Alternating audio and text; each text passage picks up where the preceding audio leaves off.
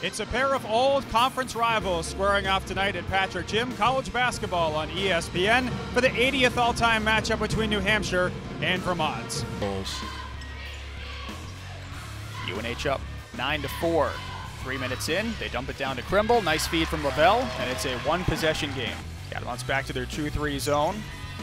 Vermont 5 and 12 on the year. Dead last in the conference. They do most of their damage inside the posts. A rare miss from Carly Pogue from that distance gets her own rebound and puts it back. Both in the top five in the league. UVM is third. Hannah Crimble from the baseline knocks down a 12 footer. New Hampshire is third in the league in assists to turnover ratio as Robertson hoists a three and knocks it down.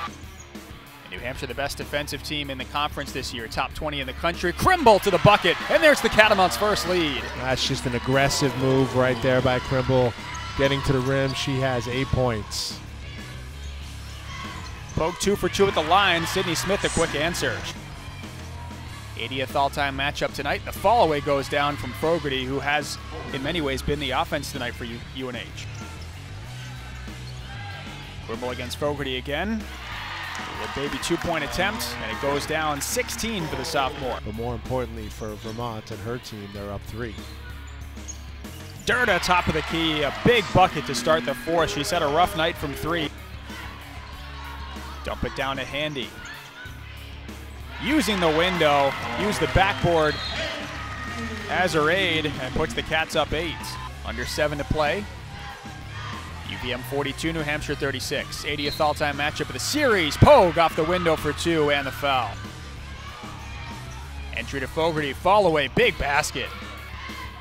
Tight defensive basketball as we usually expect between these two longtime rivals, and Fogarty knocks down the tough fall away.